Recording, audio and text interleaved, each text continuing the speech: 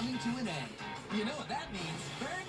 I know what we're gonna do today. It's Phineas and Ferb's end of summer celebration. Featuring beach parties, roller coaster rides, and crime-solving platypuses. You won't want to miss this. Whoa! What is that? Yeah, yeah, yeah. It's another one of the cool rides. It's Phineas and Ferb's end of summer celebration, starting next Monday at 4 on Disney XD. Oh, oh, oh, my!